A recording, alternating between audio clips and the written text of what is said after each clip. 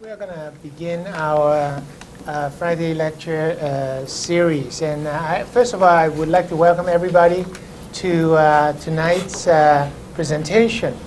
Um, tonight's presentation is uh, coordinated by Professor Parmatma Saran, who's a professor at Baruch College in Sociology and Anthropology. And he has um, published several books and also has been uh, uh, involved in, in, in many um, different programs that are dealing with South Asians. And he has been interviewed by many uh, different uh, mass media on the situations that, that is happening in uh, South Asia.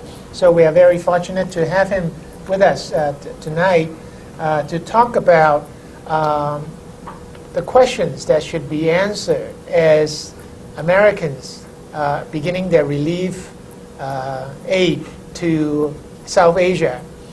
And so, um, together with us is also uh, Mr. Harendra uh, Sirisena from uh, New York City Technical College.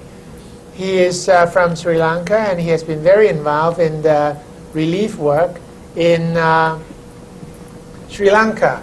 Um, at this point, there is a attempt by uh, the City University of New York trying to create a response to the tsunami victims uh, in South Asia. And um, uh, Mr. Sirisena is uh, involved in that. And we have uh, with us, uh, you know, in the audience, Professor uh, Cherukupali, who's also involved in that CUNY response. So this is really not a very formal kind of uh, presentation, but basically trying to talk about, as CUNY especially wants to look at how CUNY can create a response in that area.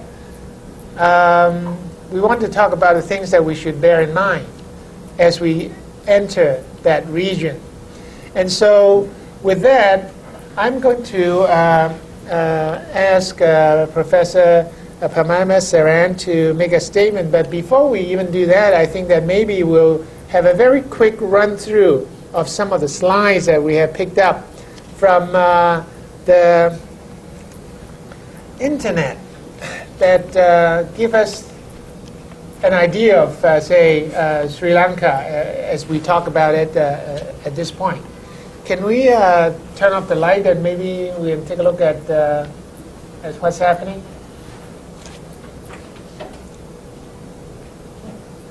This is uh, basically the picture of uh, Sri Lanka, and uh,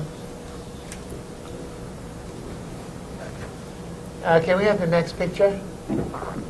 This is the damage in Sri Lanka uh, uh, after the tsunami, and as you can see, the bigger the circle, the more the casualties. And in Ampara, for example, you have uh, 10,000, more than 10,000 people who, uh, who perished over there. And the entire eastern region and the southern region, southern region of Sri Lanka were affected. Can we get to the next slide? This is just some of the images of, of that. this is really quite a while after the, the, uh, the tsunami. Uh, we uh, put up these uh, pictures just so that we have some sort of a context as we are talking about the CUNY response. Uh, next slide. Another picture. It also indicated to you that uh, in Sri Lanka, for example, it's quite dependent on uh, tourism. Next one. Next one. These are the uh, uh, some of the uh, remnants that uh, people uh, salvaged. Uh, a lot of temples were uh, destroyed. Next. Uh, these two are from uh, one of the temples. And they uh, saved themselves by having one of those uh, tire. And they used one of the uh, cricket uh, bat as a paddle to save themselves. This is when uh, Ruhuna University is, the students from that university is helping to try to uh, rebuild the community in that area. This is one of the students from Ruhuna University. She was almost drowned at the tsunami. Next. This is uh, the U.S. Uh, help, you know, from uh, helicopters, etc., trying to bring food in. This is uh, one of the Sri Lankan uh, um, army officer trying to keep uh, peace and secure the security of the area. This is uh, the refugee camp that you can see. Uh, a lot of uh, people are living in camps like that. This is another picture of people living underneath those tents in the camps. This is uh, from, uh, I think, the northern area of Sri Lanka, Uh, some Tamil uh, refugees in that area. This is uh, in front of the uh, refugee camps. People, some of the people uh, have different kinds of medical supplies. yeah, pharma- pharmaceutical aid. Next. These are some of the people over there who are helping out, working with the refugee uh, camp residents. This is one of the working situation of one of the workers over there. These are the uh, children lining up for uh, presents. They got a present from, uh, you know, for the crickets. Over there, this is one of the most common um, mode of transportation. It's called the chick chick or something like that. Three wheeler. Three wheeler. All right. Auto rickshaw. Okay. this is from the inside view. In case you want to go there, uh, Nehru, that's where you're going to be sitting. I, I know this very well. Okay. This is a picture of a small child who uh, created a picture uh, when somebody, when the teacher asked them to do so about the tsunami. This is a gathering of uh, a Buddhist temple in uh, Sri Lanka. This is the life of a lot of the villagers in that area. They are trying to get back on their feet, uh, to get back on their normal life. That's it. I just thought I'll present that so that we'll set ourselves in the right kind of uh, frame of mind when we talk about uh, uh, CUNY response, U.S. response to tsunami victims. Uh, Professor Saran?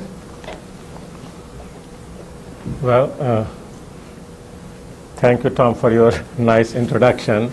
Uh, I must confess, uh, I'm simply going to make some brief remarks, and what I'm doing here has nothing to do with my research or uh, scholarship. Those of you who know Tom, if he asks you to do something, it's very difficult to say no. I was quite reluctant, but uh, eventually I agreed, and I'm glad that I have a very good partner who is um, share uh, major responsibility this this evening. Uh, it is uh, very gratifying, as you all know, that uh, international international community uh, responded very well to tsunami disaster.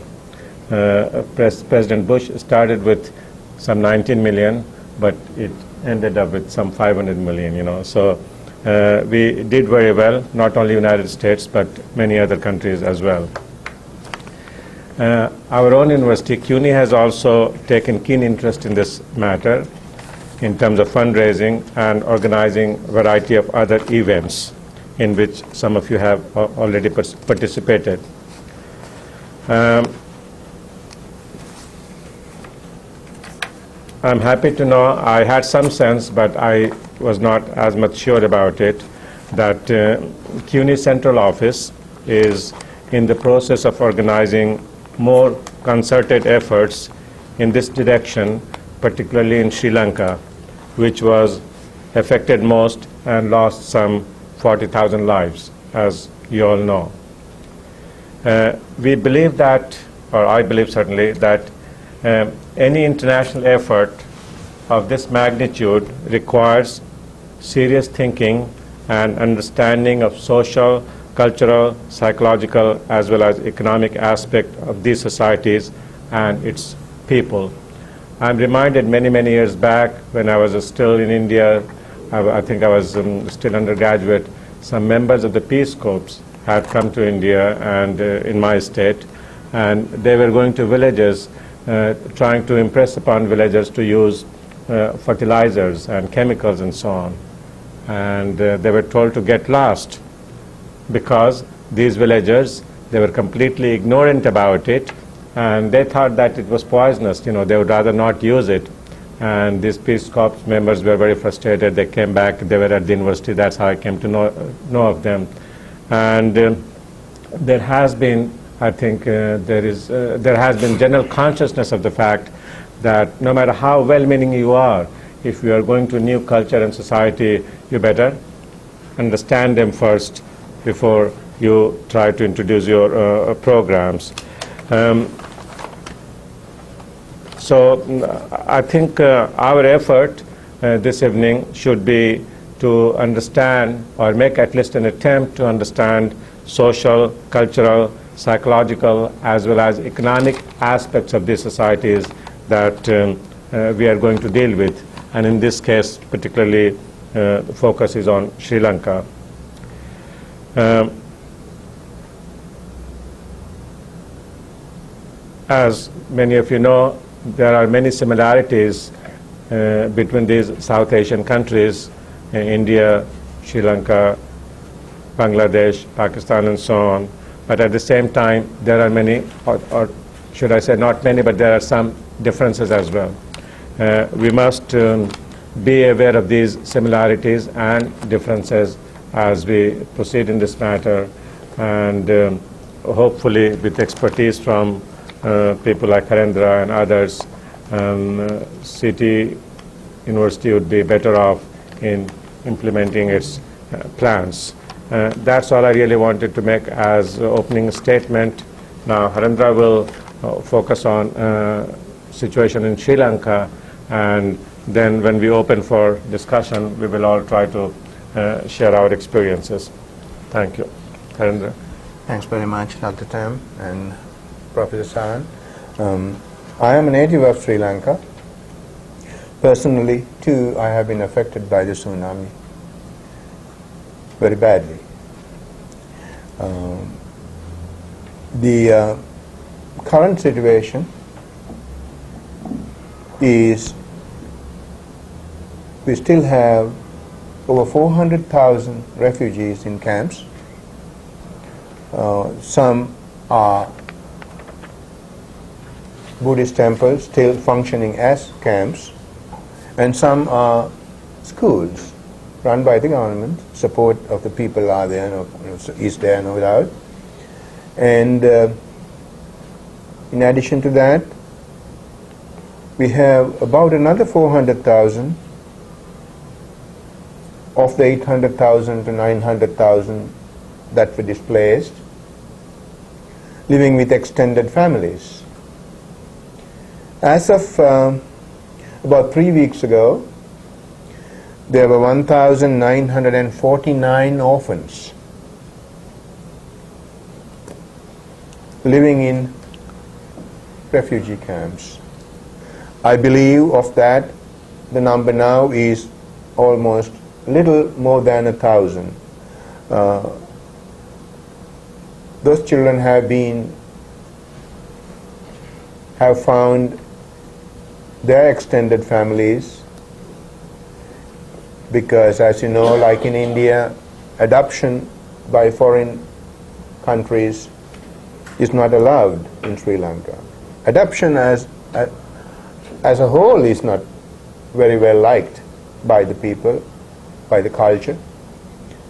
But of course, there is adoption somehow as parents are lost when children are small. So that the rest of the orphans will find some refuge. There are two villages being built for these children to live with other refugee families. For example, one parent loss. So they are willing to take a child they will be given a stipend and they will be given the authority to, to be the guardian of this child. So that is very strongly being done currently. And uh, housing construction has had some uh, difficulties, mainly because of the 100 meter rule, which means that from the coast, from the water's edge, nothing can be built for 100 meters. That has been there for probably a few hundred years or maybe more than that. But as the population expanded, then difficulties arose for employment. Mainly the fishermen built little huts by the sea. Some of them have two dwellings. One is to keep the boat, fishing boat by the sea, by the water, and they live half a mile away inland. So these are the people who really suffered in this disaster, especially in the uh, in the eastern province and parts of the southern province. Uh, they will not be allowed to go back to their makeshift dwellings by the water. Um, the government has received a lot of aid, almost $2 billion, close to $2 billion on paper, of course, and uh, both the United Nations and the European Community, and of course I must add USAID, they're working with the government to create a program, create a plan to utilize these funds in a very constructive way.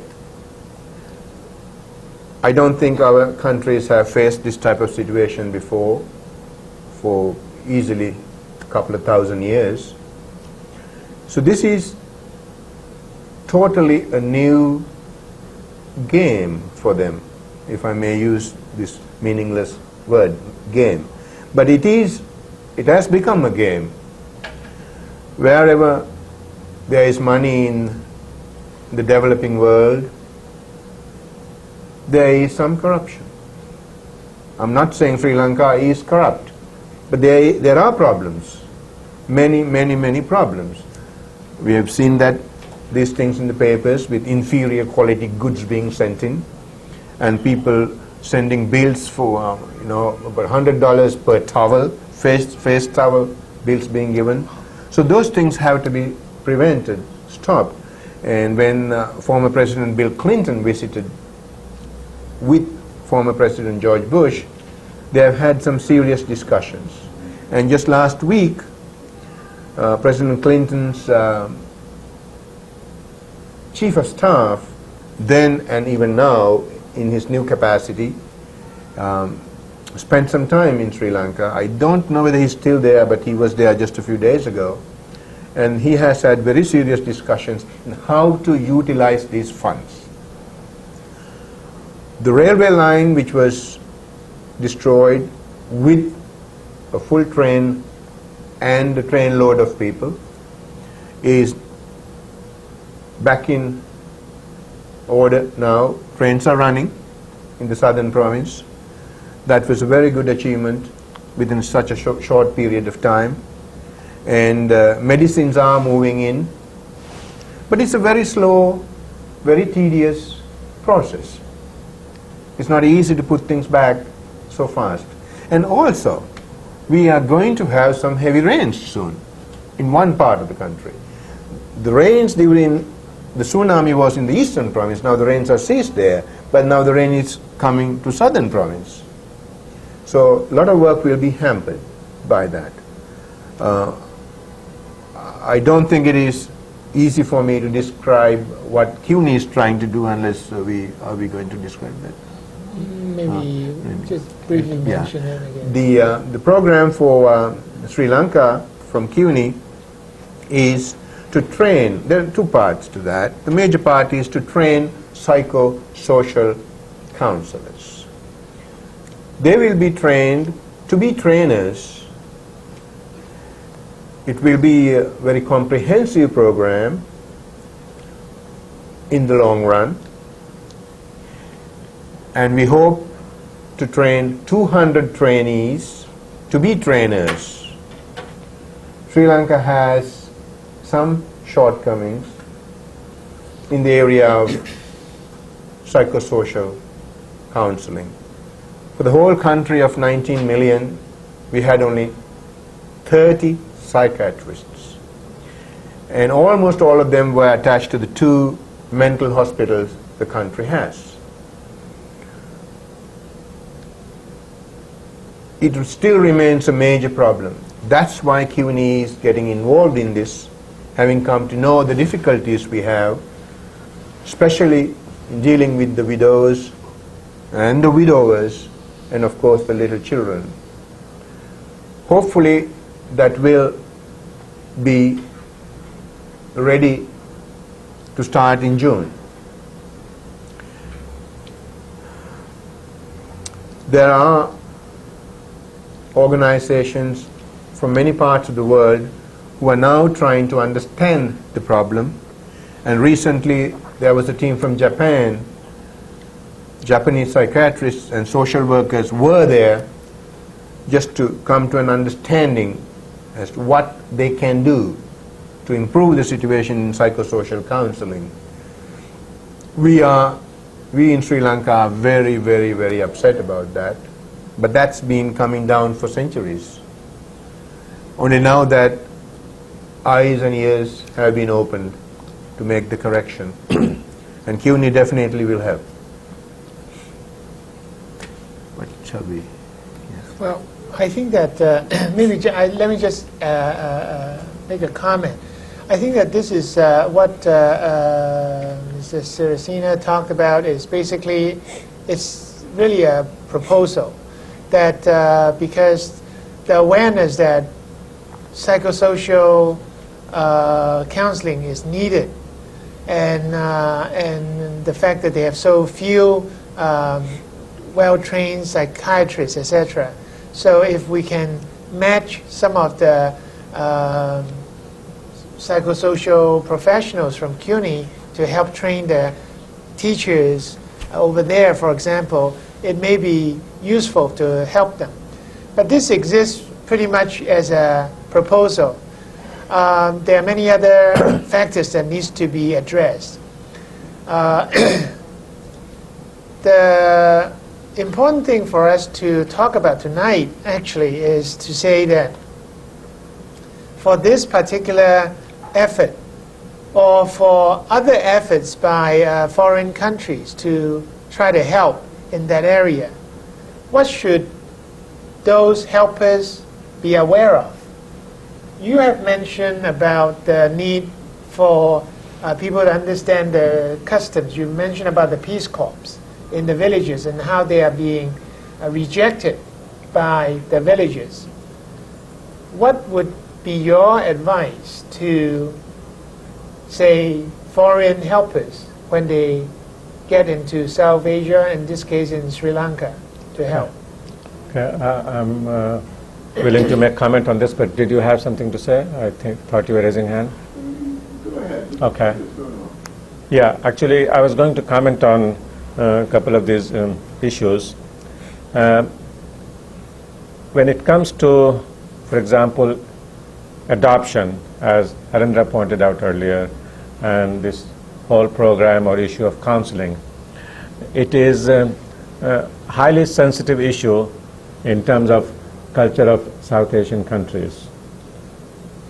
Just to elaborate my point, um, in course of my research on Indian immigrants in this country, uh, I asked them what were the consequences of migration, whether they felt more stress and strain and so on and so forth.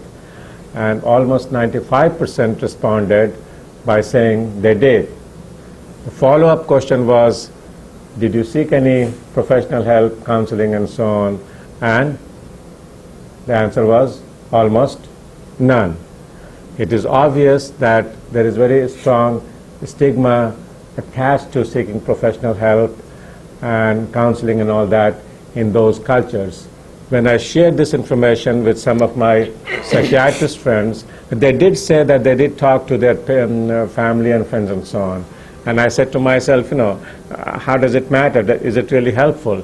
And when I talked to my psychiatrist friends about it, they said it does matter and it is helpful depending on uh, uh, the nature of problem one is uh, confronting. What I'm trying to suggest here by using these examples is this whole notion of seeking professional help, go, going to a counselor and all, all that, which is um, a, um, everyday affair in Western culture. Uh, jokingly, we say every shrink has a shrink, right? But in those, those, those cultures, it is not as prevalent. And people try to stay away from that for whatever reason.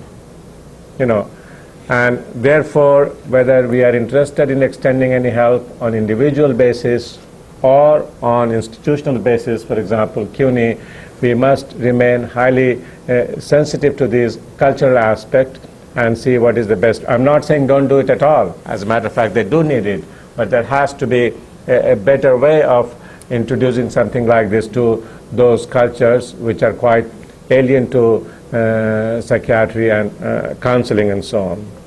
Uh, the other issue I wanted to refer very briefly is uh, adoption. Okay? Uh, some of us may be very uh, interested in adopting children from those countries, but again, in those places, adoption is the last resort and you cannot make a formal proposal. It's, you know, it's sometimes it is seen as humiliating, even insulting and so on. Uh, I cannot say much about Sri Lanka, but what I have seen in India, and uh, now it has, of course, um, uh, officially you can adopt, but um, even in those families, for example, you know, somebody doesn't have a child, you know, uh, that couple would, you know, uh, adopt, you know, their um, brothers or sisters, you know, uh, children, but no adoption in that sense. They will just take them, and the society, you know, it's the, the nature of relationship is so spontaneous, personal, and intimate that you don't need a piece of paper that this child was adopted by this couple, even though, for all practical purposes, uh, that is the case. Uh, so, what I'm suggesting is uh, that again, um, uh, whether these are formal agencies or people are trying to do it on individual basis, um, you have to be very uh, sensitive in approaching this matter and uh, um, speak to the family or you know in some cases uh, nobody else is uh, alive in the family uh, they're living in um, camps or you know or orphanage and things of that sort uh, so um, just please you know I just wanted to alert you to these two facts Additionally, I also wanted to, um, Tom mentioned about, uh, I think you mentioned about uh, corruption. Uh, it is very characteristic of uh, uh, South Asian countries. As a matter of fact, I remember some time back, for last two, three years, uh, some research organization has been coming up with a list of countries which are most corrupt, and it has been printed, you know, published in New York Times.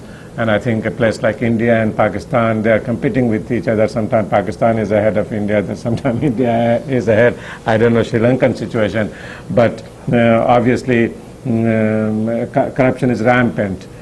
Now, this should not dishearten us or Westerners who might think that their money will be wasted and there would not be any use of uh, contributions they are sending. Uh, I, I, I, tend to think that under these very extraordinary circumstances, uh, best use of contribution will be made, even though um, there would be some uh, abuse and all that. Uh, let me stop with my remarks at this time and see. Yeah. All right, let's back to this, this question of counseling. There is excellent evidence going back to the 70s or 80s that almost all cultures, I can't think of any exceptions for research, have indigenous and local and accepted and traditional forms of counseling. They are not necessarily all delivered by talk therapists trained in Western techniques. Now, what what's the in, what's the local source of counseling, the counseling equivalent to Sri Lanka? What it, what it, I assume that, that that can easily be identified why bother to ship in people from Japan or CUNY? Uh, why not simply bolster the indigenous mechanism? Yes, that's, that's a very good question. The indigenous mechanism is for the Hindu, the Hindu temple. For the Buddhist, the Buddhist temple. For the Christian, it's the church. It's the priest. That is the indigenous mechanism. That has been so in Buddhism's and Hinduism's case for over 2,000 years.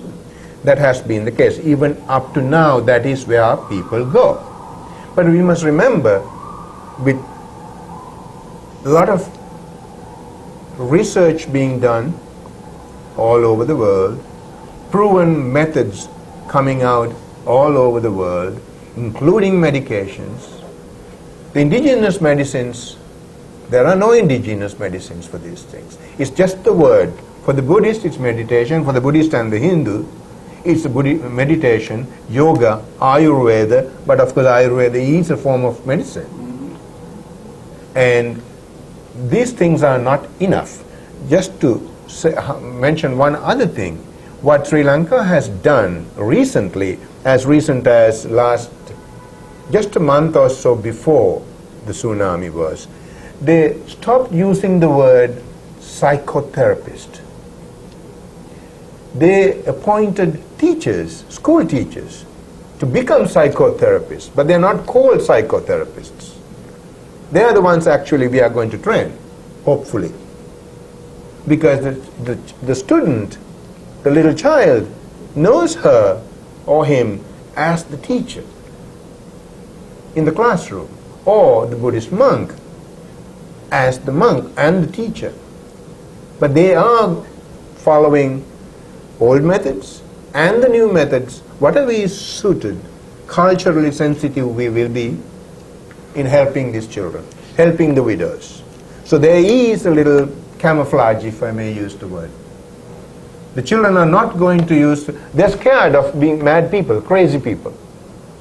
So the, leave it that to Western devils. Uh, all right, let's follow that line of thought then.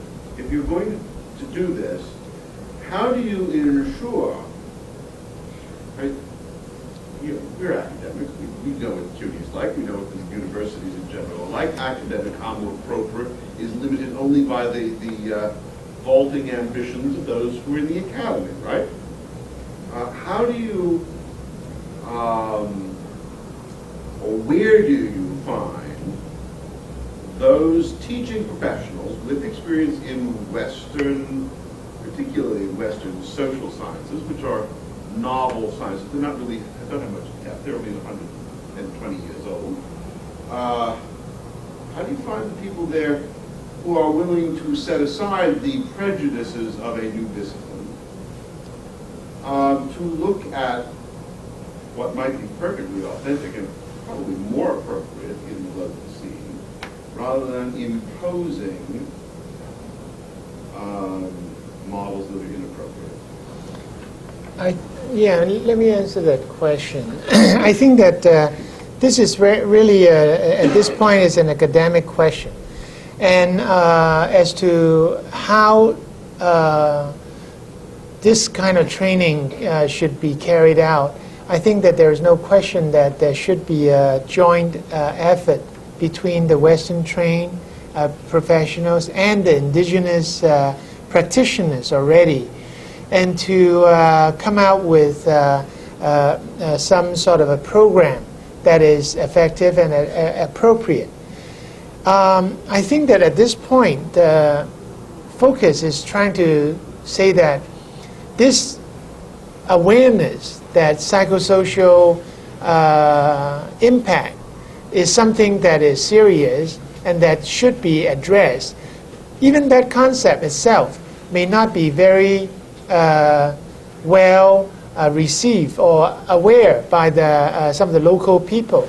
So they may be very, uh, you know, uh, stressed, etc., but they may not know why this is the, the case, or sometimes they may not link, be able to link up different things and, uh, and we try to help in that area. I think that Sri Lanka has the highest suicidal rates uh, in the world, you know, uh, per capita. And so for people to recognize the fact that you have uh, you, this self-destructive uh, uh, motive or urge, how to recognize that and how to seek help, uh, etc. Uh, you know, both for the uh, sufferers and for the people who are able to help. It's something that we wanted to bring to their attention. Uh, because the kind of training that is possible is very short. I think that they are doing some sort of like training, one day training. We are proposing that we are doing maybe a one week kind of a training. Even though it may be one week, it is still very short. It's, uh, the effectiveness is uh, limited. So the importance is to say how to link it up with the uh, local people and even before the group goes over there. And uh, we need to have a workable um, paradigm, a workable program before we even set, uh, set, set off. You mentioned a question about uh, where do we find these people? I think that these people, they are, they are out there in, uh, within CUNY.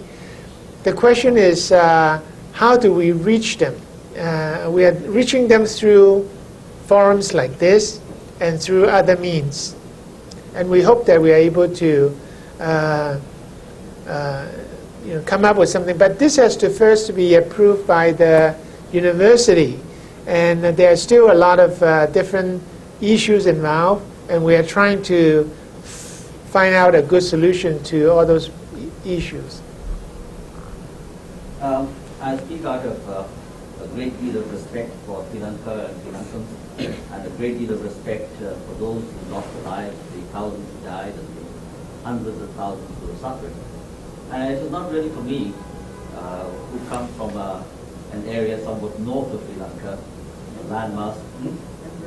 uh, uh, and a very dry area at that, somewhat north of Sri Lanka. It is not for me to say what should and should not be done or what can and cannot be done.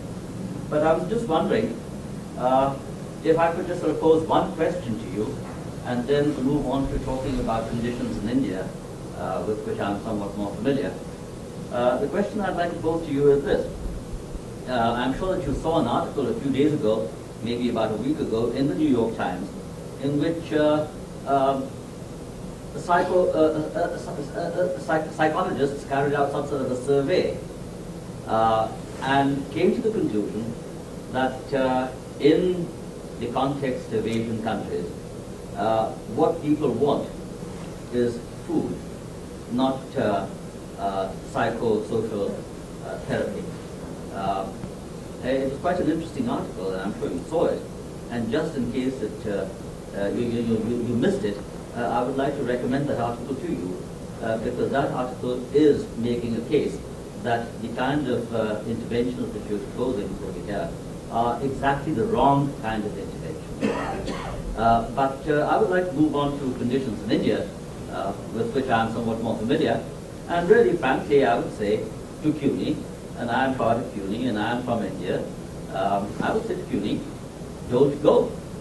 Uh, I don't think you're going to do a great deal of good going to India. Uh, you'll just get in the way. Uh, now, I don't know about you, Dr. Saran, where are you from? Bihar? Yes. Uh, now, I don't know if you were in India in 67, 66, 67. I came in 67. Uh, and there was a famine in Bihar. If you okay. will remember, there was a famine, there was a bad famine okay. in uh, Bihar. Uh, and uh, I was involved at that time a certain amount of famine relief.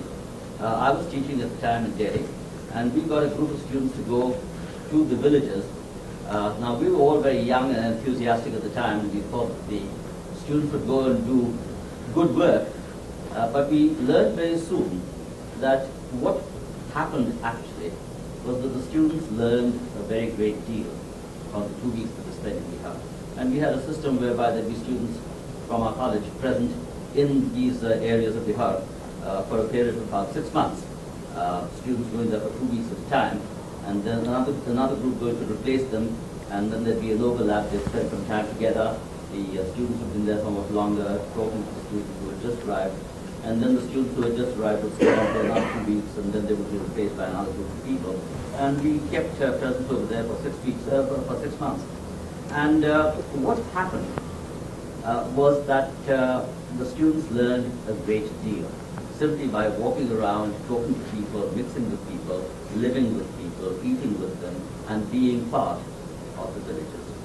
Uh, I don't know if the students did any good to Bihar, but Bihar did a lot of good to the students. They turned them into anthropologists, Uh, right? uh, they, look, uh, they turned them to Naxalite. Oh, okay. Uh, some became Naxalites, some joined the IAS, some Uh-huh. became professors or Uh. whatever, you know, some, some became anthropologists. Uh, but all kinds of things happened. Uh, and I think that this is the way in which we as an educational institution here uh, should approach conditions in India. Uh, we should not go there to do good because there is not much good that we can do. The only reason we should go there is to learn. And in learning, we will be able to do some good.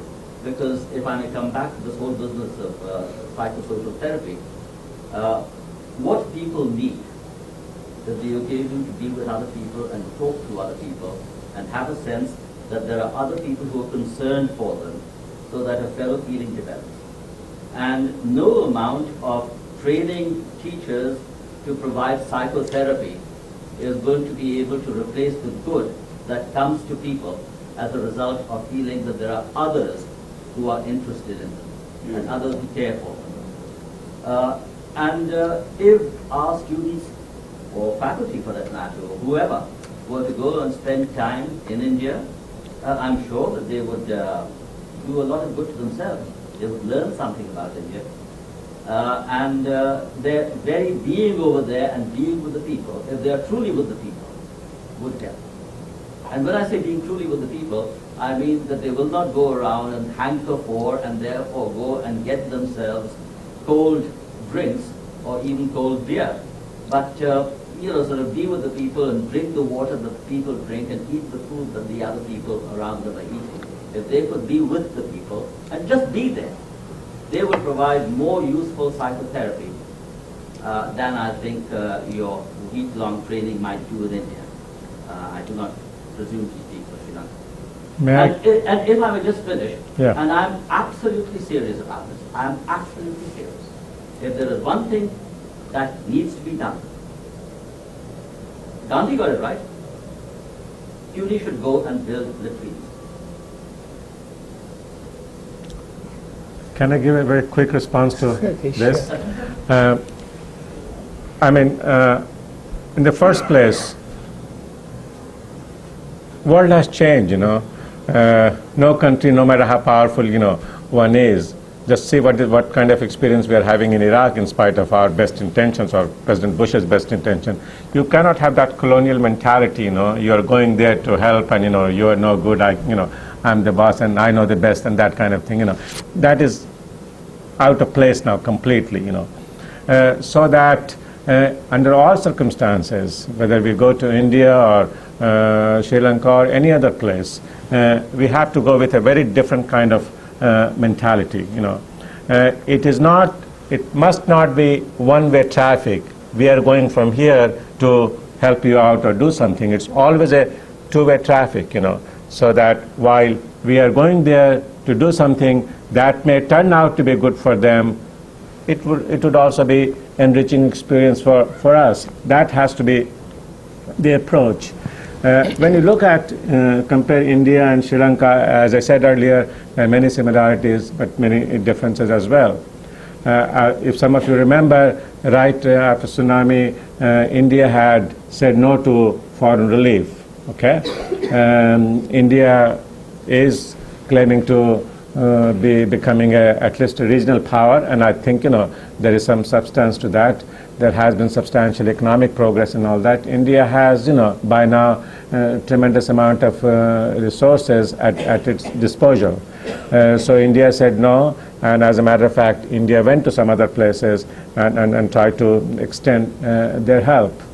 Uh, but when it comes to Sri Lanka, it's a, a different ballgame. Sri Lankan situation is uh, quite different politically and economically, and uh, a country like Sri Lanka certainly needs help, and they did receive some help. Uh, what uh, I would say is that again, you know, it is you are referring to food, you know. I mean, of course, you know, uh, food and water and shelter, shelter, you know, these are our basic needs. But as human beings, we need more than that. Of course, those people who don't have food, they need food, you know. But how about those people whose families have been wiped out? Not only parents, you know. Uh, in South Asian culture, you know, extended family has been very important part of uh, their lives. And under the circumstances, uh, they may not have anybody to talk to, you know. Uh, whether it is family or members of the extended family or neighbors and all that, entire communities have been wiped out. So, uh, yes, you know, of course, uh, food is the very basic primary need, you know, and we must make every effort to provide those things and medicine and so on. But we must go beyond that, you know. It is much more complex than just uh, food, food, food or shelter. Um, one food I was talking about, I said building the trees, sanitation. Sure. I mean, you know, so what, what I would say it is not uh, uh, one or the other factor, but multiple factors must be at work in, because the situation is very complex and we must try to tackle as many problems as, as, uh, as we can. Uh, going back to counseling and all that, you know, uh, I think uh, it was already pointed out, I think Tom said, that uh, uh, we should try to, you know, train indigenous people. Some of them may be here already. They can go back, and they would be more readily accepted by the local people, and try to help them. I mean, I have no doubt in my mind that uh, uh, psychological counseling is very, very important under the present, present circumstances. You know, uh, because uh, uh, people have lost everybody that they knew whom they could talk to. It's completely empty. I'm sorry. I, No, no, I just wanted to add to what Professor said, that um, in the, soon after the tsunami, my nephew, who is a doctor, works for St. John's, and the St. John's in, in Bangalore, and a group of doctors went to Andaman and Nicobar Islands, where, which have been very badly affected, along with some NGOs, and they were not accepted. They were sent back within uh, 10 days. The locals did not want them. I mean, uh, I'm trying to reiterate the point uh, Professor made, that they don't want this kind of help. And then, yeah, and then also food, when you're talking about food. This, people decided that, okay, they will send rice, they will send uh, uh, kerosene, they, I mean, all temples and uh, uh, churches, they decided to do this. But when it was sent there, the locals, they refused it, they didn't want it. They said, we are not beggars, we don't want this kind of a thing. So there is something more than what, uh, you know, uh, counseling or, uh, you know, medical help or wh- what we think from here or even, uh, you know, people in Bangalore, I was there recently, and they feel that we cannot, we have to live there for a long time, we have to live with the people to understand their problems and then try to solve them, not go with preconceived ideas from here. Just listening to it. Yes, that's probably, Sure. and they And dealing with uh, they, they feel they, they are not beggars, they just, want- they don't want to be pitied. By the way, St. John's is a good college. Yes. Yes. You have, To the counter argument, though, for a second.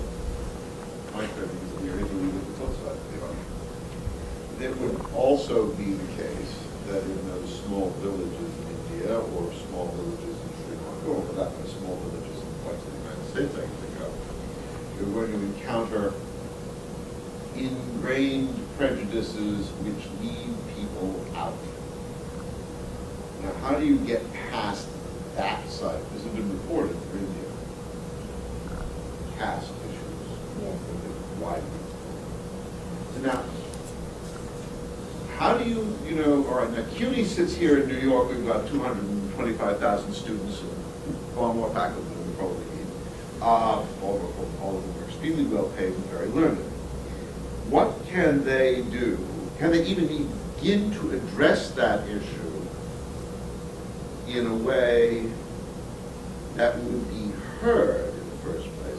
Alternatively, is there a structure within the culture that would be heard, which CUNY could effectively bolster by some sort of, I don't know what the mechanism would be, but some sort of cooperative mechanism? How do you, how do you, if I'm hearing what's going on in this conversation, the problem is that CUNY probably shouldn't be going over, you know, dropping people into That's the what I And I, I think you're probably right. On the other hand, CUNY might have a shot through someone like Now, yourself. let me see if I can, go. let me see if I can Well, let me finish the thought, then, then answer it. CUNY might have a thought through someone like yourself, who's very clearly, you know, been on the ground, seen what's there, talked us around, what have you, to work out some sort of modus vivendi which would allow the university to participate in some material way. Now, tell me why I'm wrong. Uh, if I may, whatever you say about India, the opposite is equally true. Uh, so that uh, you're, so that you're absolutely right that there's casteism, uh, and the fact is that there are all kinds of mechanisms and people who transcend caste all the time. Uh, and there is a lot of uh, work that is done uh, by agencies, by individuals, uh, that uh, does not take caste into account. And then there are people who are themselves perhaps very caste-ridden, who understand the imperative uh, that governs the other people in transcending caste barriers, so that although I, as an individual, may be very caste-bound myself, I will be perfectly willing to accept the fact that another person who has perhaps come from outside is not going to is not going to to to, to uh, follow the same sort of uh, rigid barriers or be constrained by the barriers that I am. Uh, now, here I think CUNY can have a very effective role, uh, which is really the point that I was making earlier, that if CUNY should want to get involved in this, the best way to get involved is to go there, live, listen, learn, talk to everybody, travel everywhere, go everywhere, to every home, and just sort of knock at people's doors and say, you know, so I've come to talk to you. And people are very hospitable, they're not going to turn you away uh, they will let you in. And uh, you go from the house of a Brahmin to the house of a, uh, of a Shudra, and uh, the Brahmin is not going to mind, not after a while.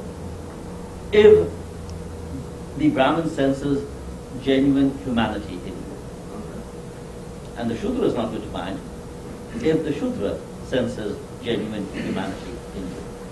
But if they feel that the whole thing is some sort of a charade, uh, then I think um, you, you, you're going to have the same experience that uh, uh, uh, your nephew had. Uh, thank you very much, but uh, isn't it time that you sort of thought of uh, making use of your return What to would your be the ground mechanism for that? There is no mechanism as such. The only mechanism is uh, to be wholly oneself. And one hopes, of course, that one is a good... Student or faculty member from New Yeah. York to India, you know, So, so this is faculty... Well, some sort of an auspices of. the- Well, I'll tell you what, I- I'll tell you two things that are absolutely crucial uh, in making a successful transplant. You have to have a good stomach and you have to have a sense of humor. Well, Uh, it certainly helps if you know the language. I would like to make a, uh general comment here based on conversation between two, two of you and some others. Um, I think it would be a, a mistake on our part to assume that because of uh, social, cultural, whatever differences, uh, we are no good to go and do some good to those people or provide some services. Uh, I don't accept that, you know. Uh, after all, we are living in a global community today, you know, we are part of global community. And City University, of course, is a very, very small outfit, you know, um, uh, under these circumstances, uh, as far as the problems in these countries are concerned. But after all, we are an international university. You know, we have very large number of people coming from uh, various countries, representing some of these countries, uh, and I think it's uh, incumbent upon us to uh, look into this matter as seriously as we can and see to what extent we can make uh, use of our resources. And I have no doubt in my mind that in spite of these limitations, you know, that we are talking about, uh, we can do some good. And uh, so I think you know, what I'm suggesting is that let's look at uh, uh, the issue in a positive way and see what our strengths are, what our resources are, even though they are very limited, and whether or not we can make some difference. I don't think we are going to claim anybody has in mind that we are going to uh, change the face of these places, you know. But uh, whether or not we can make some difference, even if it is um, symbolic. And So, if I may ask that nitty gritty question, what are our resources? what is that? What are our resources? How much are we committing? I think you know. What do we have? Our In terms of money, in resources, our people? resources are the people who care, who wanted to so, yeah. do some good, even though the good that they may be doing may have, uh, say, bad consequences. And therefore, I think that your comment about you need to know before you jump is a very appropriate comment. But I think that um, I certainly would not discourage you know, people from expressing their concern and to see in what way they can help. There is, at this point, there is no money involved. The, we are talking about people that the question that was raised, where do you get all these people? We are saying that, well, the situation is over there. And these are some of the needs over there. And uh, we talked about, uh, for example, uh, psychosocial counseling, training of that as one of the methods. There are millions of things that needs to be done over there, including the building of latrines. And I think that before we even can get to the point of building latrines, you must have the people who are willing to take a plane over there, or even to have the desire to take the plane over there. And therefore, I think that the whole thing is a process. It's a process that needs to learn from mistakes that are made in the past and to see in what way can this good uh, thoughts, these good intentions will result in good uh, uh, outcomes. And so I think that, for example, sir, you mentioned about the fact that to have students going over there, two weeks rotation on a continuous basis, so that they can learn about life over there, the culture over there. To get to that point, you have to start from somewhere. Uh, you cannot just go from here and bring the students over there. If, for example, I'm just saying if, this group of, uh, say, social counselors uh, that do the training can establish the connection with the people over there, with maybe the institution, maybe with the local structure, etc., that they say, well, you guys are not that bad after all. Maybe we'll allow your students to come. Now, then it would have done some good. We would have done some positive steps. So, so what I'm saying is that it seems to me that to risk making a mistake and to be turned back over there is perhaps better than not even attempting to try to do it. I'm not saying that we should do it exactly as your nephew did and then get, and get that turned back right over there because that would be ridiculous. But I think that uh, to uh, get the people's, uh, uh say, um, sense of uh, global citizen so that we are all in this, in this place, in this earth together, etc. And if there's something that you can help, maybe there's an avenue where your help can materialize in some good. I think that maybe that, I'm just trying to say that. Oh, I, I want to add another thing, and that is there is no, there really is no uh, uh, uh, structure in terms of say how CUNY to, should respond to this. Um, because the need over there is really tremendous. And uh, you know, there's so many, so much need. We picked this only because more people, when we say that, well, let's try to do a, uh, uh, uh, something, it's only because that the people who come are more psychologically and socially oriented. We have not reached the civil engineers at City College that's going to go over there and build latrines maybe in a couple of years, or maybe in some time, when the, if this is, a, is successful, if this ever gets done, maybe we'll get to that point where civil engineers from CCNY will go over there in jet planes and start building latrines. I would love to see that. Well, you know, stop for a second. There's nothing that says that a psychologist can't dig a ditch and they can dig that latrine just as well as a civil engineer. You don't need a BS from City College to dig a hole in the ground. In fact, it will do them some good. Probably. We won't go there because I too am overweight. Uh, I think his, you know, you know, th- there is this tendency, and I really do mean this, academic amour propre is going to get you away more than anything else. You know, you get a guy who's willing to go over there, and as he says, you know, all right, you need a house built, I got a hammer and a nail. Then you're doing something serious. You're addressing people where they are. Who needs some, excuse me, I can't say that word in public. A person standing over you and saying, well, I'm a psychologist, let me give you a little psycho. How do you feel about that? Who cares? You know, want to dig a hole in the ground and if people can use it and do the sanitation, your degree is not important, your hands are more important, and a solid stomach, I, you know, I I hear And, you. and if I could just piggyback on what uh, you have We're just gonna said. form Troika together here, and we're gonna sit Uh, we, we certainly seem to be forming a troika. Uh, but if I could just uh, continue on in the same vein, um, you talked about uh, getting on a plane and going there, and that is exactly what I wanted to know. Uh, how many people do we have at this point, or how many people do we think we have at this point, who might be able to get onto a plane and go there? Who's going to pay? Who's going to pay for the plane fare, uh, or for the expenses that they might have when they are there?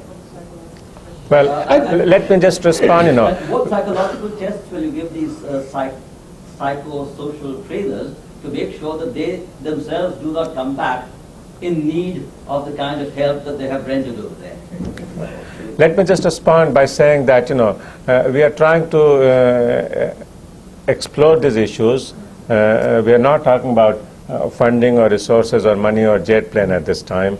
But if it came to that, if you were to ask me, you know, uh, Parmatma, would you go if there is something like that? And, you know, I would say, yes, I would play, pay for my plane, plane fare, pure and simple, you know. So we are talking about the spirit, you know. If we have that kind of commitment and interest and all that, you know, and I'm sure, you know, I don't want to brag about it that I would play, pay my fare. I'm sure there are a whole lot of people who would come up with, you know, um, who chip in and, you know, make contributions and all that. So it is not just a CUNY effort, you know, it is an effort on the part of CUNY community which, to which we all, all belong. I must say that skepticism is part of the game, but we got to go beyond that, and you know we have to look at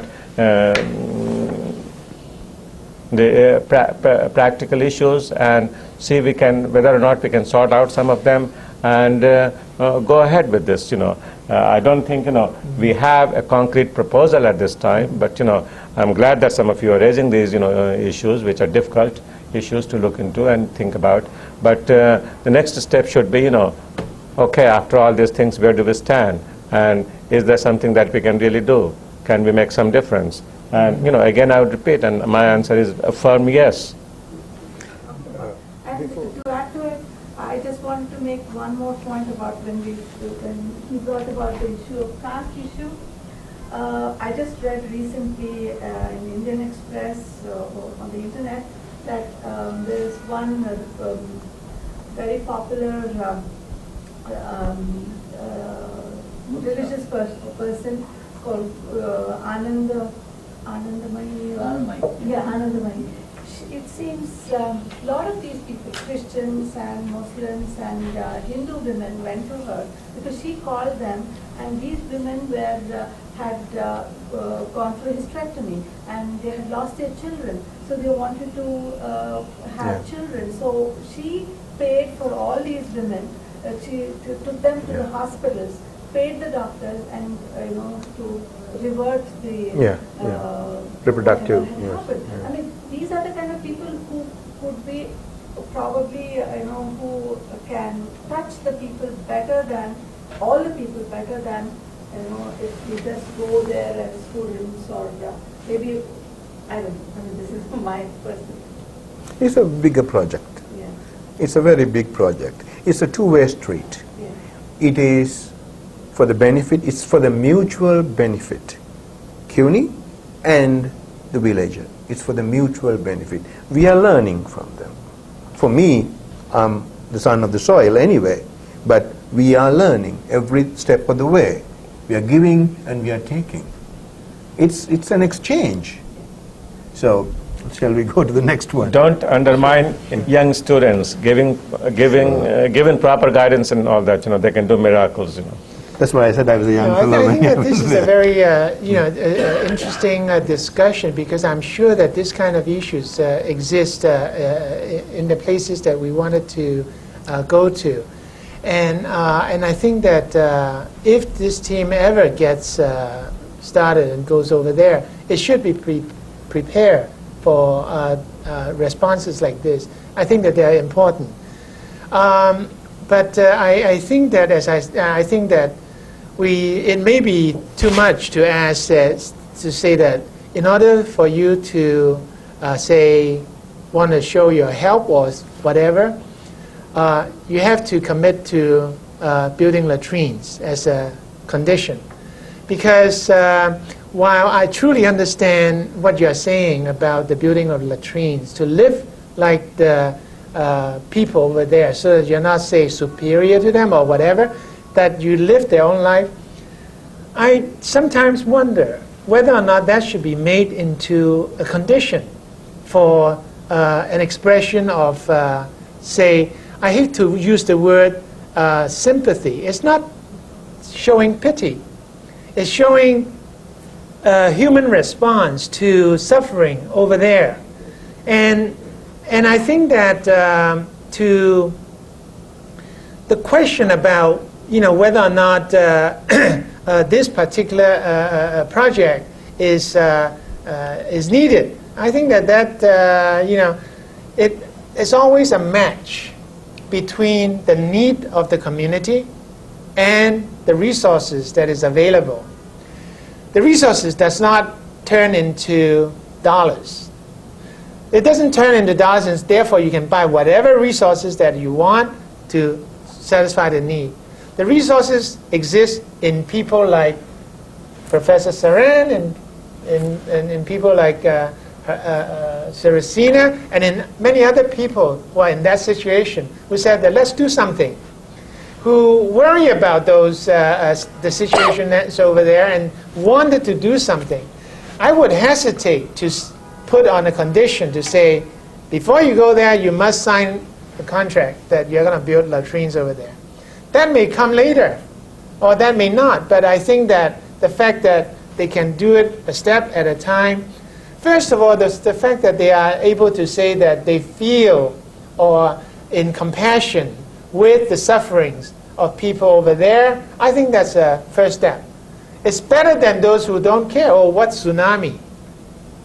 And, uh, and, and, and therefore, I like to take that perspective, and, uh, and, uh, and, and it's from that perspective that I think that uh, uh, maybe we can eventually you know, do some good. But I, I, accept what you're saying, and I think that we should move on to some of our next steps, uh, next talk, because some of the, what we are trying to talk today is basically what are some of the issues that we should be aware of before we even go there. And this very much is a part of the issue. Yeah, yeah. And um, how do we overcome that? And besides this, for example, in places like Sri Lanka, the social structure themselves, what are some of the things that we should be aware of? When, uh, for, for example, well, first of all, I hope that we are not just going over there, got a ticket, and then landed in Sri Lanka, and, and where's the taxi, you know, and, and trying to, to, to, to, get us over to uh, some places that we have absolutely no idea of. I would hope that uh, you know when we are able to do that, there will be people who wanted us to be there, yeah. who have programs that are set up, who have people who are waiting to be uh, uh, you know to get engaged in the in the training, and therefore we are able to to do that.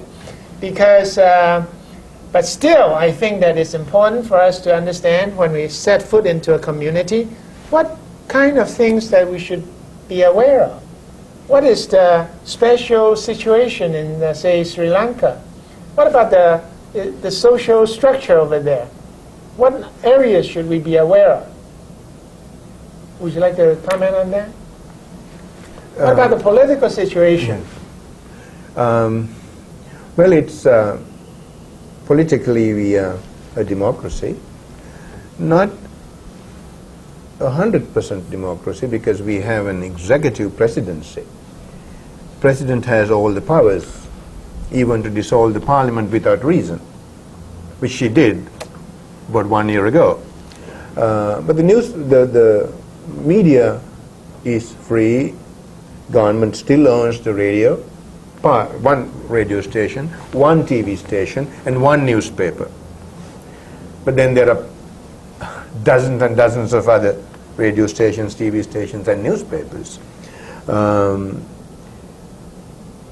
the the government is top heavy. There is a lot of nepotism in the government structure. So obviously the efficiency is affected by that. People are very, very hospitable. They're very, what shall I say, they're very friendly. Uh, I don't think there is any difference between India and Sri Lanka in that respect. And uh, the literacy rate is very high in the 90s. And uh, life expectancy among women is 77 years, I think. Among men is uh, about 76, 74 or 75. And uh, infant mortality is very good. It's 4 per thousand. Uh, very good by third world standards. I'm not saying uh, very good by all standards. Uh, we have uh, a very high standard of university and high school education, a very high standard. I'll give you one example. When we come over here, we enter college, we have to do pre-calc and calc 1, 2 and 3. In high school I finished most of the calculus in high school. So that's the standard we have over there. I'm giving you one little example. And chemistry, which was my first major, most of the first year chemistry here, or maybe part of the second year chemistry, is done in high school over there. So our bachelor's degrees take only three years in India, Sri Lanka, Pakistan, and Bangladesh, all four.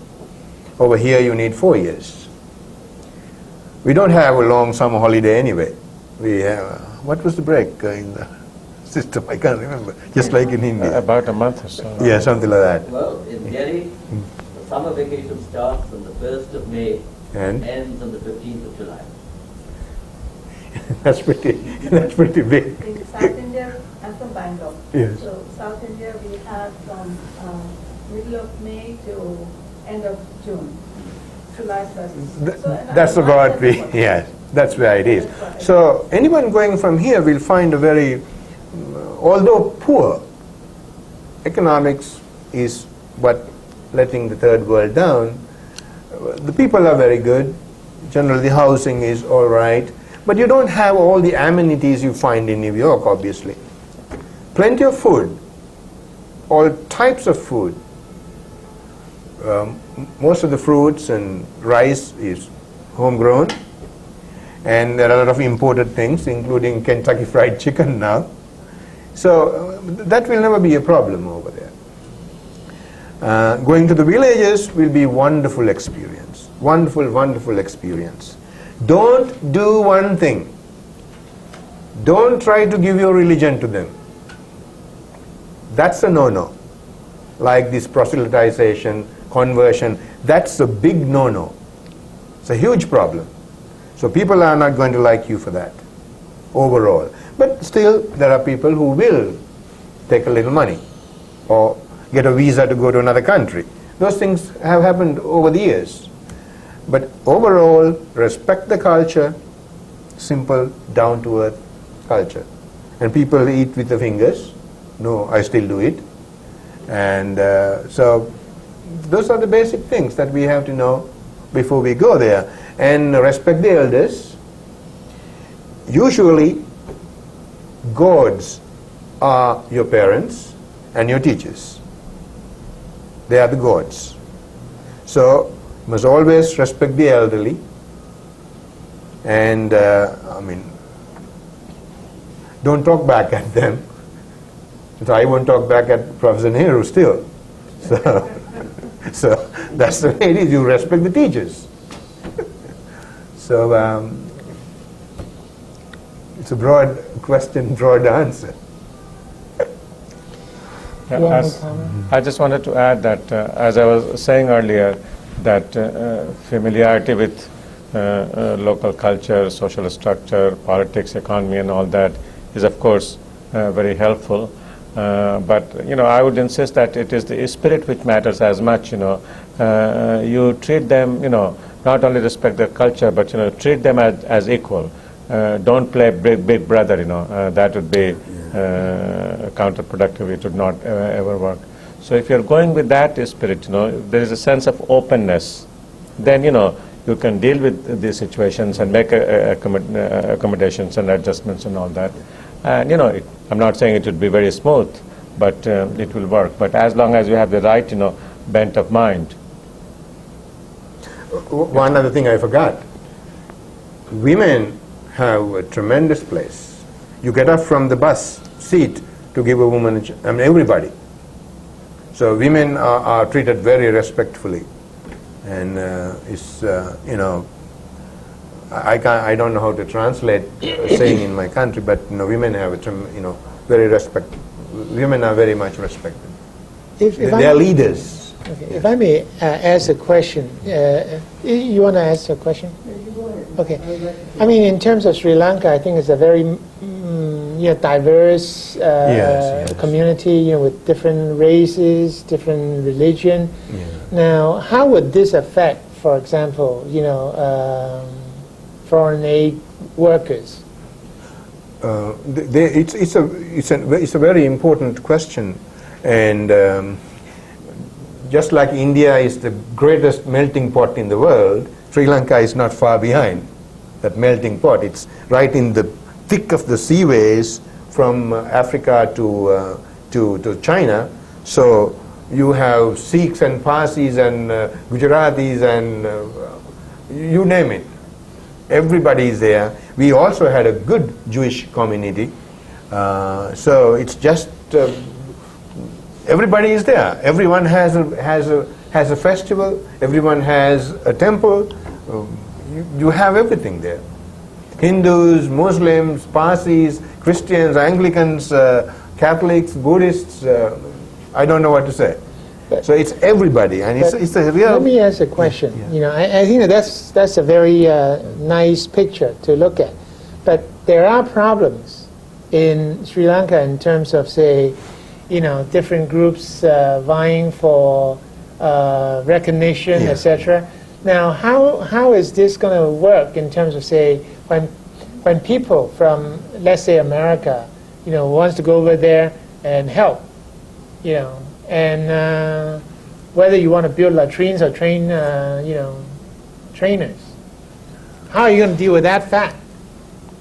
that we are Yeah, that people are, are, are, are, may not agree with one another. yes yes Yeah, if I may respond quickly to this, you know, my, my sense is, and it is based on some uh, recent reading on uh, what is going on there, that if it has, uh, tsunami has done any good to, you know, countries like Sri Lanka, brought people together, you know, and I think the sense of uh, hostility or divisiveness which was there, you know, is, I'm, I'm sure it is still there and it needs political uh, solution and all that, but uh, uh, people are closer now and there is a greater sense of oneness and all that.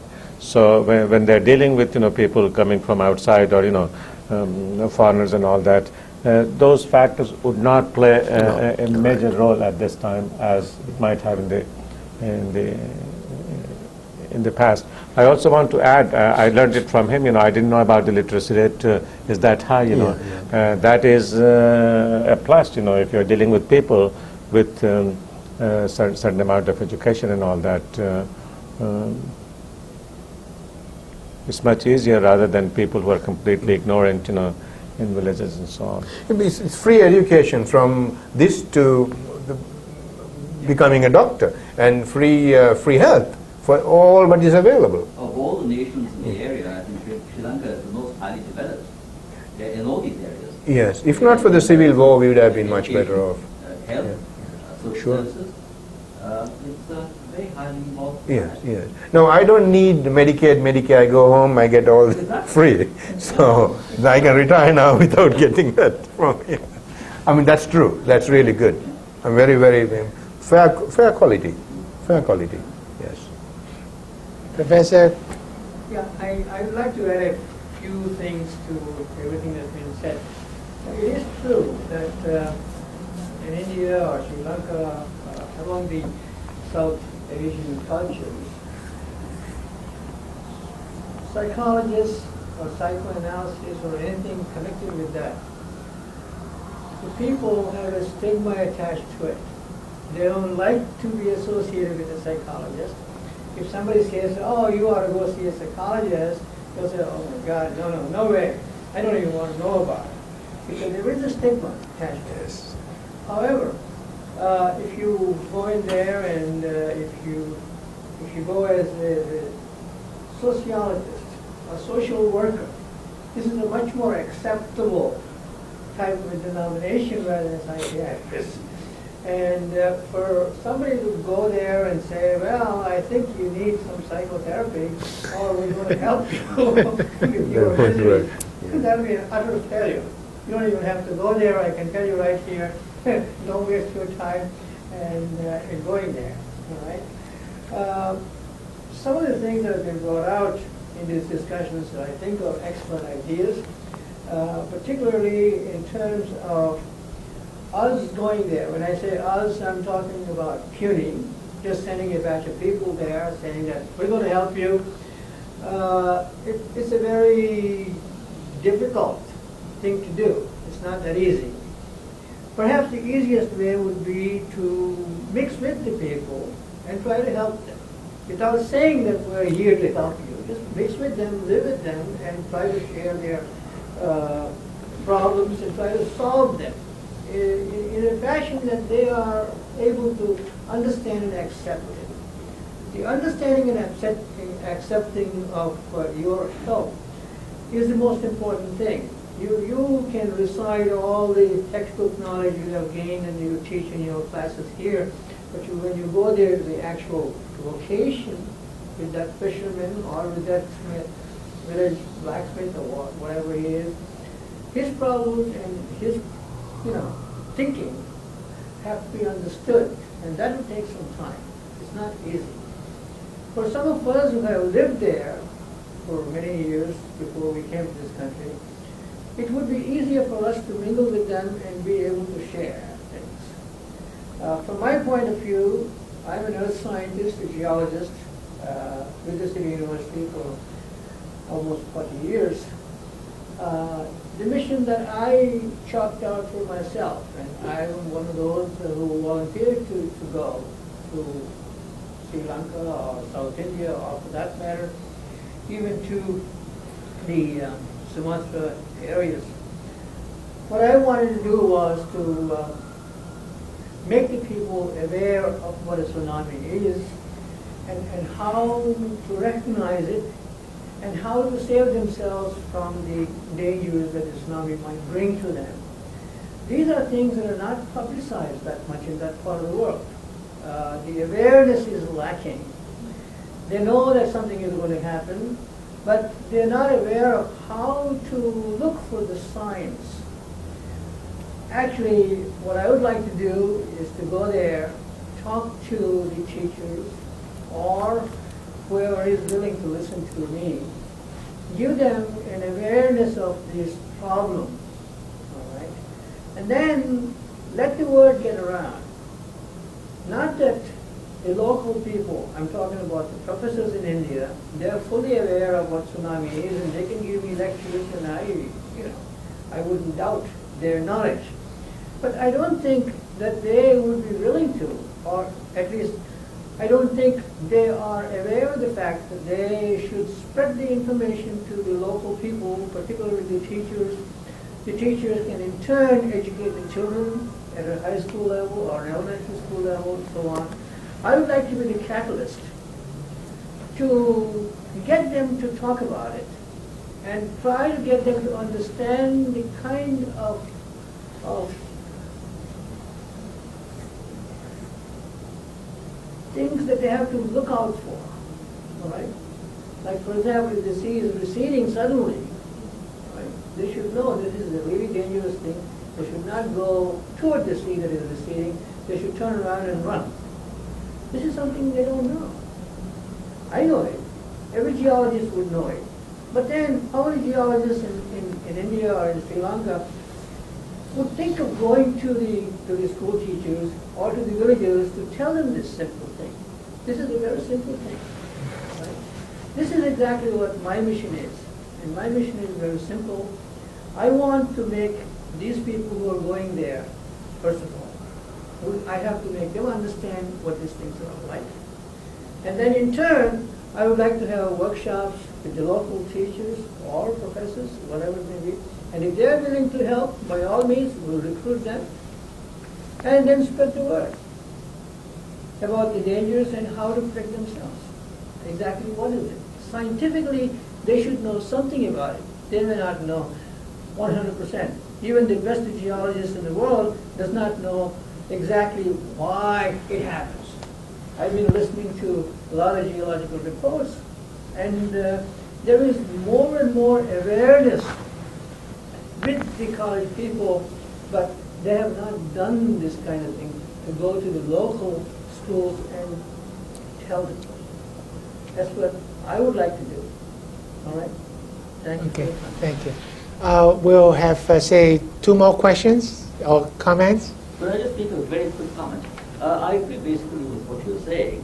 Uh, however, I think uh, what happened a week ago when there was the scare that there was another tsunami coming and every, everybody mobilized shows that there is a great difference between conditions as they were on the 26th of December and as they were on whatever, the uh, 15th of March or wh- whenever, Monday. Monday. Uh, and I think in these three months, uh, the kind of awareness that you were talking about spreading Yeah. has been spread. Uh, it may be true that uh, before the tsunami hit, uh, there were not too many geologists who went out and told people that if they saw the sea receding, they should not move in the direction of the receding sea, but in the opposite direction. But I think today the consciousness is much, much more widespread. Now, certainly in this endeavor, if you were to go and add to this, I think that that would be a very noble thing. You will find that there are other people doing this, and uh, certainly I'm sure everybody would welcome your participation. But that is exactly the sort of thing that I think uh, we ought to be looking for. Uh, and uh, that leads me to my last question, or not my question actually, but my last uh, point, and that is you need to have local people to talk to and work with.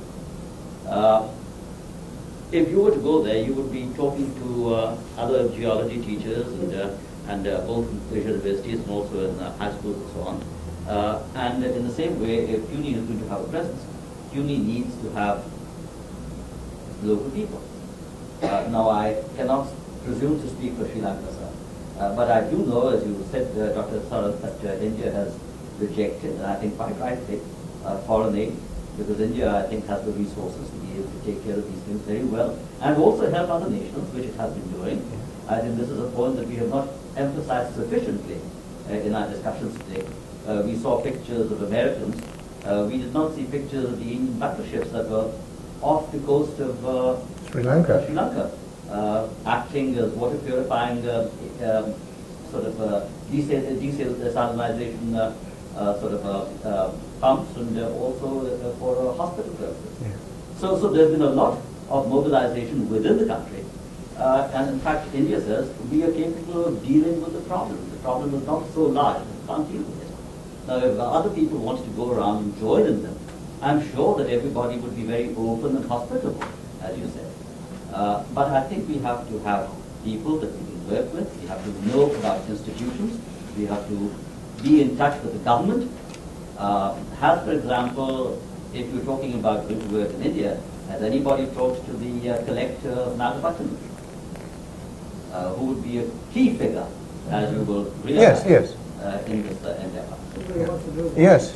No, no, that, uh, that, that whole area is covered by Runda and uh, Yeah, Bronislav, because they have been there.